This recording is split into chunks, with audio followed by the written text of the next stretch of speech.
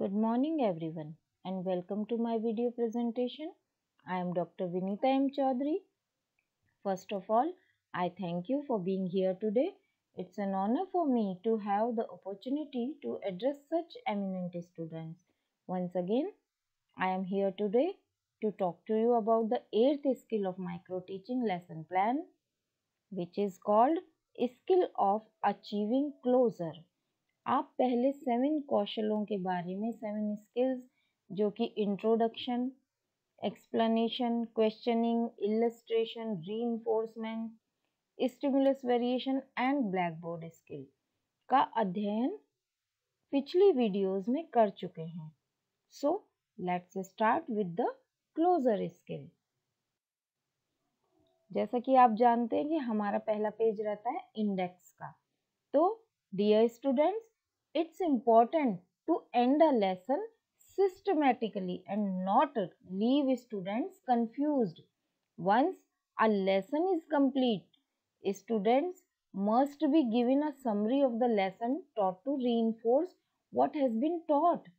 एक बार एक पाठ पूरा हो जाने के बाद छात्रों को जो पढ़ाया गया है उसको दृढ़ करने के लिए स्थायी करने के लिए पढ़ाए गए पाठ का सारांश दिया जाना चाहिए इस स्तर पर अर्जित ज्ञान के स्तर को उचित रूप से मापने के लिए।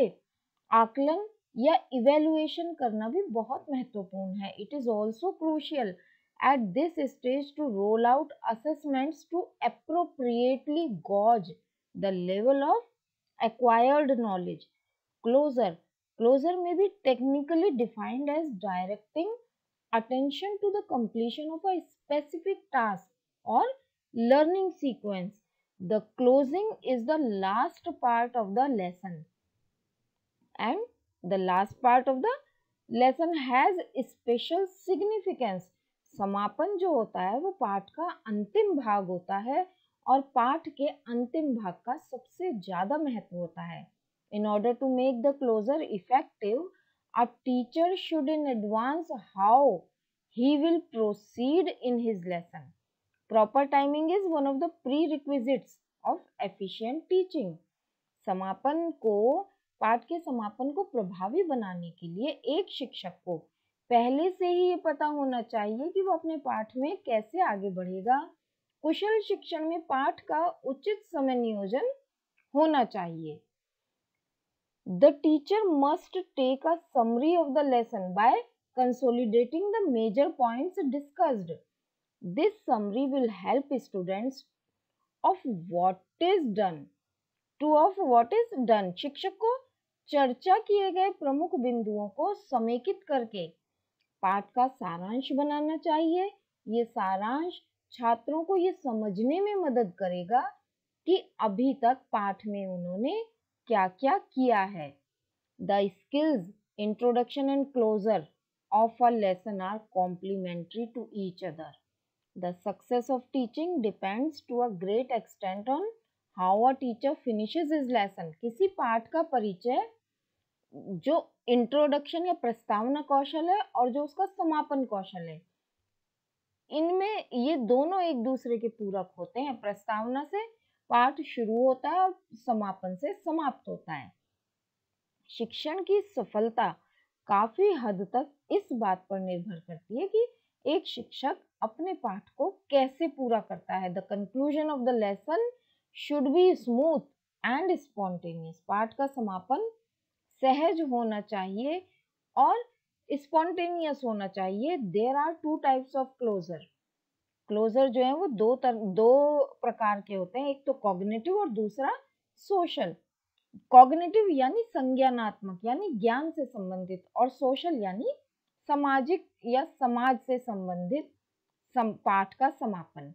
Cognitive closure is directed at consolidating what the student learn and focusing the attention on the major points covered in the lesson संज्ञानात्मक समापन का उद्देश्य छात्र द्वारा सीखी गई बातों को समेकित करना इंटीग्रेटेड करना या एकीकृत करना और पाठ में शामिल प्रमुख बिंदुओं पर अपना ध्यान केंद्रित करना होता है। और social closure is concern with giving the students a uh, giving the student achievement so that despite any difficulty they encounter within the lesson they are encouraged to continue striving usually only used at the end of a lesson or at the end of a particularly difficult learning sequence जो सामाजिक समापन होता है इसका संबंध छात्रों को एक विशेष उपलब्धि प्रदान करने से है ताकि पाठ के भीतर किसी भी कठिनाई का सामना करने के बावजूद उन्हें प्रयास जारी रखने के लिए प्रोत्साहित किया जा सके। समापन आमतौर पर केवल एक पाठ के अंत में या विशेष रूप से जब सीखने का क्रम ज़्यादा कठिन हो तो उसके अंत में उपयोग किया जाता है। तो जो हमारा पाठ समापन कौशल है। इस पाठ समापन कौशल के लिए हम पहले एक इंडेक्स बना लेंगे। जो जो बातें मैंने बताई हैं, इनको ध्यान में रखिए कि ये बहुत ही इम्पोर्टेंट है कौशल कि हम जो पूरा पाठ हमने पढ़ा लिया है, उसकी अब हम समाप्ति कैसे करेंगे। तो इसको बहुत ध्यान में रखना और ये बहुत ही इम्पोर्टेंट है। हम अपने पे आते हैं, जहाँ पर कि हमें सबसे पहले अपने components of micro teaching skill लिखने होंगे, पाठ समापन के कौशल के घटक लिखने होंगे। तो if you find my educational videos useful dear student do tell your friends about it to also subscribe the channel for new video updates अगर आपको मेरे शैक्षिक वीडियो उपयोगी लगते हैं तो अपने दोस्तों को भी इसके बारे में बताएँ। नए वीडियो अपडेट करने के लिए चैनल को भी सब्सक्राइब करें। अब हम आगे चलते हैं कि पाठ समापन कौशल के घटक क्या होते हैं।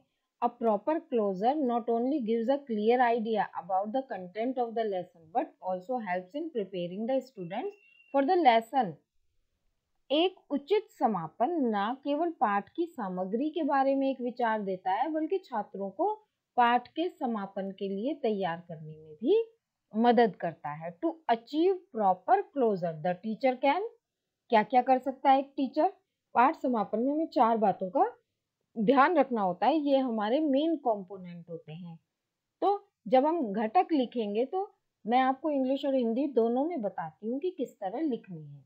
हमारा पहला घटक जो होगा, वो होगा asking questions to ensure integration of the content learned सीखी गई सामग्री का समाकलन सुनिश्चित करने के लिए प्रश्न पूछना। आपने जो पाठ पढ़ाया है, बच्चों ने जो सीखा है, अब उसको समअप करना है तो अब हम उसको इवेलुएट करेंगे, उसको जोड़ेंगे सारी नॉलेज को, उसके लिए हम बच्चों से उस कंटेंट में से प्रश्न पूछेंगे।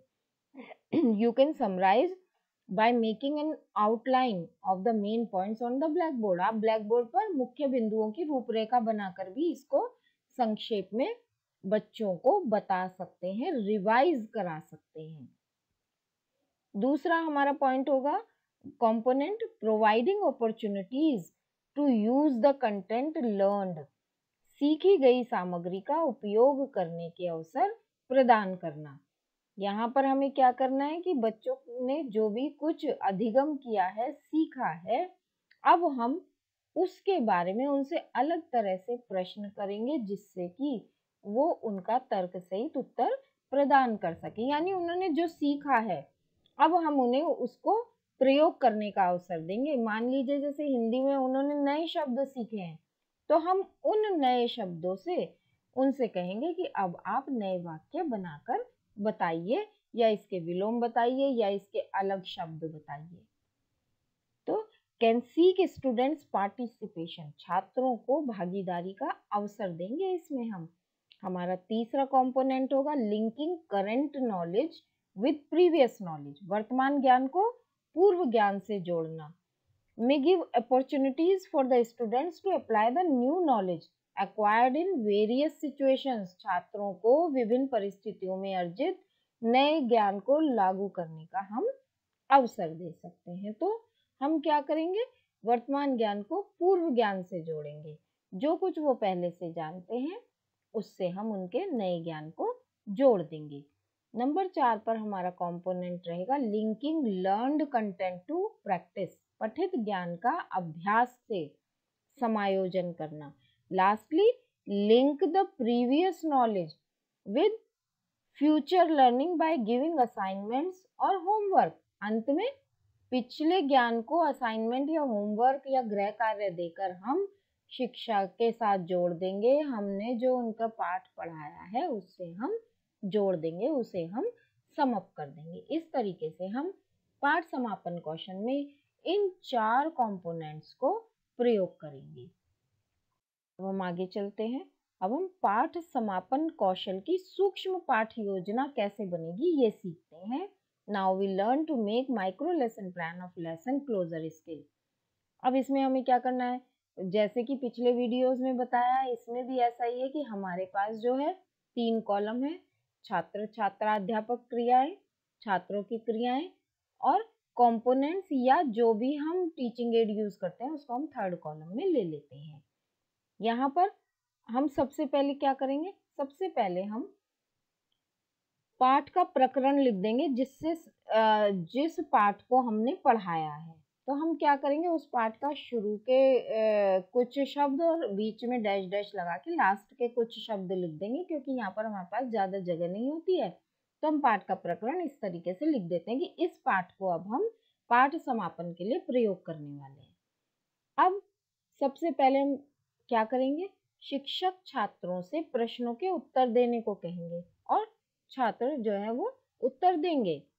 तो क्या होगा हमने प्रकरण लिख दिया फिर अब शिक्षक ने प्रश्न किया। इस कविता में अब आपको पता है कि हमारा जो है वो रानी लक्ष्मीबाई की कविता ही अभी तक चल रही है, उसी को आज हम समाप्त करेंगे। तो रानी लक्ष्मीबाई इस कविता में कवियत्री ने किसके शौर्य की प्रशंसा की है? अब छात्र ध्यान पूर्वक सुनते हैं और उत्तर देते हैं कि रानी लक्ष्मीबाई। इस तरीके से क्या है? कि आपने जो पाठ उन्हें पढ़ाया है, अगर बच्चे उनका उत्तर सही दे रहे हैं तो इसका मतलब है कि आपका पाठ जो है, बच्चों को पूरी तरीके से समझ में आया। है फिर आप दूसरा प्रश्न करेंगे, रानी लक्ष्मीबाई के संग्राम का वर्णन किस सन का बताया गया है? छात्र उत्तर देंगे अठारह का। तब टीचर पूछेंगे, अठारह के संग्राम को क्या नाम दिया गया? छात्र उत्तर देंगे, स्वाधीनता संग्राम। प्रश्न चार किया जाएगा, उस काल में अंग्रेज़ क्या कर रहे थे? छात्र उत्तर देंगे, भारतीय राजाओं के राज्यों को छीन रहे थे। पांचवा प्रश्न, राज्यों को छीनने के लिए उस काल में अंग्रेज़ किन तरीकों का प्रयोग कर रहे थे? तो छात्र बताएँगे कि साम, दाम, दंड भेद सभी तरीकों का प्रयोग कर रहे थे। प्रश्न छह पूछा जाएगा, झांसी की रानी लक्ष्मीबाई ने अपनी किन क्षमताओं का प्रयोग करते हुए युद्ध किया था? छात्र बताएँगे कि अदम्य साहस का प्रयोग करते हुए युद्ध किया था। प्रश्न सात पूछा जाएगा, लक्ष्मीबाई ने कब तक अंग्रेज़ों से युद्ध किया? छात्र बताएँगे कि वीर गति प्राप्त करने तक लक्ष्मीबाई ने अंग्रेज़ों से युद्ध किया था। प्रश्न आठ पूछा जाएगा, लक्ष्मीबाई ने अंग्रेज़ों से कैसा युद्ध किया? छात्र बताएँगे कि घमासान युद्ध किया। और प्रश्न नौ, जो कि अंतिम प्रश्न होगा यह कविता किस सुप्रसिद्ध कवियत्री के द्वारा रचित है? तो छात्र बताएँगे कि सुभद्रा कुमारी चौहान कवियत्री के द्वारा यह जो कविता है, यह रचित है। इस तरीके से क्या होगा कि हमने अपनी इस कविता के सभी प्रकार के प्रश्न जो अभी तक आए थे, उन सबको हमने छात्रों से पूछ लिया, छात्रों ने उत्तर कर दिया और हमने अपने लेसन प्लान में उन प्रश्नों और उन उत्तरों को दोनों कॉलम्स में लिख दिया। जो क्रियाएँ छात्र कर रहे हैं वो वहाँ पर और जो क्रियाएँ छात्राध्यापक कर रहे हैं वो उस कॉलम में हमने लिख दी। अब प्रश्नों के उत्तर हमें प्राप्त हो गए, यानी कि बच्चों ने पाठ को ठीक तरीके से समझा है। अब दूसरा काम हम क्या करेंगे? शिक्षक ब्लैक बोर्ड पर मुख्य बिंदुओं की रूपरेखा बनाकर संक्षेप करते हैं। अब शिक्षक क्या करेंगे? ब्लैक बोर्ड पर वो मुख्य बिंदु लिखेंगे जो कि पढ़ाए गए हैं तो उससे क्या होगा? रिवीजन हो जाएगा। इसके बाद जब ये मुख्य बिंदु लिख लिए जाएँगे, छात्र ध्यान पूर्वक इनको सुनेंगे, समझेंगे और रिवाइज हो जाएगा और फिर हम तीसरा काम करेंगे गृह कार्य का। अंत में शिक्षक ब्लैक बोर्ड पर होमवर्क देकर पाठ समापन करते हैं। तो गृह कार्य देंगे। तीसरा जो पॉइंट रहेगा वो इसमें रहेगा कि शिक्षक गृह कार्य देते हैं। अब गृह कार्य देना है जिससे छात्र अपनी जो उन्होंने ज्ञान अर्जित किया है इस पाठ को पढ़ के, उसको अप्लाई भी कर सके, प्रयोग भी कर सके। हम उन्हें ऐसा मौका देंगे, ऐसा अवसर देंगे जो कि वो अपने ज्ञान को ठीक प्रकार से प्रयोग भी कर सके। तो हम उनको गृह कार्य देंगे रानी लक्ष्मीबाई की वीरता पर। एक लघु कथा लिखिए। और छात्र क्या करेंगे? छात्र ध्यान पूर्वक कॉपी में इस गृह कार्य को लिख लेंगे और फिर उसके बाद वो इस गृह कार्य को घर से करके लाएँगे। तो इस तरीके से किसी भी पाठ का समापन पूरी तरीके से होना चाहिए और ये इवेल्युएशन हो जाना चाहिए कि छात्र ने कितना सीखा और उसके बाद हम छात्र को गृह कार्य दे देंगे। और हमारा जो पाठ है वो कंप्लीट हो जाएगा। अब ये होने के बाद हमने पाठ पढ़ा दिया। अब हम आएँगे नेक्स्ट पेज पे। नेक्स्ट पेज हमारा रेटिंग स्केल का होता है। जो कंपोनेंट थे, उनको कितना अचीव किया है? हमारे सुपरवाइजर हमको अब हमारे इस कंटेंट को पढ़ाने पर हमें कितनी रेटिंग देंगे, ये देखना है। तो हम इस पेज पर फिर से उन्हीं कंपोनेंट्स को अब जो है एक्शन के रूप एक्शन वर्ब के रूप में लिखेंगे। और पास्ट टेंस में लिखेंगे। अब हम लिखेंगे, हमारे चार कंपोनेंट थे, चारों को इसी तरह लिख देंगे। Questions were asked to ensure integration of learned content सीखी गई सामग्री का समाकलन सुनिश्चित करने के लिए प्रश्न पूछे गए थे। और क्योंकि हमने प्रश्न पूछे हैं तो हमको तीन रेटिंग हमारे गाइड ने, हमारे सुपरवाइजर ने दे दी। Opportunities were provided to use learned content सीखी गई सामग्री का उपयोग करने के अवसर प्रदान किए गए। क्योंकि हमने बच्चों से वाक्य बनवाए हमने उनसे कठिन शब्दों के दूसरे शब्द पूछे तो हमें इसमें भी हम आ, सफल रहे कि हमने उन्हें सीखी गई सामग्री का उपयोग करने के अवसर दिए। तीसरा हमारा कंपोनेंट था जिसको कि हमने अब एक्शन वर्ब में लिखा है कि linkage current knowledge with previous knowledge वर्तमान ज्ञान को पूर्व ज्ञान से जोड़ा गया। और linkage of learn content with practice पठित ज्ञान का अभ्यास से समायोजन किया गया। तो इस तरीके से इनमें से वन टू फाइव तक जो भी रेटिंग टीचर हमें देना चाहेंगे, वो दे देंगे। हमारे सुपरवाइजर हमको रेटिंग देंगे और साथ ही साथ वो हमको कमेंट और सजेशन देंगे, जिनका कि हमें पूरी तरीके से ध्यान रखना है। तो इस तरीके से पाठ समापन कौशल के साथ ही हमारे कौशल जो है वो पूरे हो जाते हैं। हालाँकि माइक्रो टीचिंग में लगभग 22 टीचिंग स्किल होते हैं, लेकिन मुख्यतः हम इन्हीं आठ कंपोनेंट्स हम इन्हीं आठ कौशलों को लेकर चलते हैं। और जैसा कि मैंने अपनी शुरू की वीडियो में आपको बताया था कि जो साइंस के बच्चे होते हैं, वो डेमोन्स्ट्रेशन स्किल का भी प्रयोग करते हैं इलस्ट्रेशन के। इलस्ट्रेशन विद एग्ज़ाम्पल वाली स्किल की जगह पर वो डेमोन्स्ट्रेशन स्किल का प्रयोग करें। डेमोन्स्ट्रेशन स्किल के बारे में मैं अलग से एक वीडियो बनाकर आपको बता दूँगी। तो इस तरीके से अब आप इन सारी चीज़ों को ध्यान में रखें। Dear students remember that you have to perform this lesson plan in the presence of your teacher और supervisor Note that the format of this lesson plan for closer skill may not be 100% similar to the format provided by your teaching institution. So, verify before final submitting. That's all for today. In our next video, we will discuss something else और मैं ये कोशिश करूँगी कि मैं आपको demonstration skill की video बनाकर दे दूँ now Practice this over and over again until you find the perfection in the closer skill. Thank you for being here today dear students. Have a good day.